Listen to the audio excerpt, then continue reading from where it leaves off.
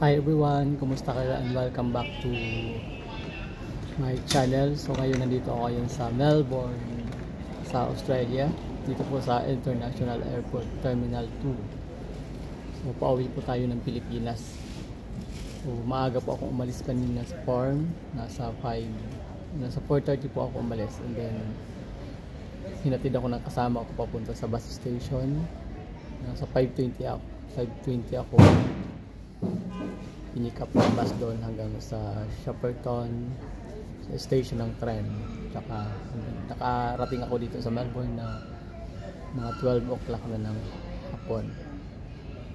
So ngayon uh, ang check in ko mamaya pang alas 7 ng gabi pero maaga po ako para uh, hindi tayo malate hindi tayo magkaroon ng problema sa biyahe. And then, alis ko po, ang biyahe ko papunta pa po ng Singapore. So, layover po ako ng Singapore. Alis ako dito ng 10-20 ng gabi. Ayan. So, update ko po kayo. Uh, mamaya or bukas. Siguro nasa Singapore na po ako nun. So, bakit po ako uuwi?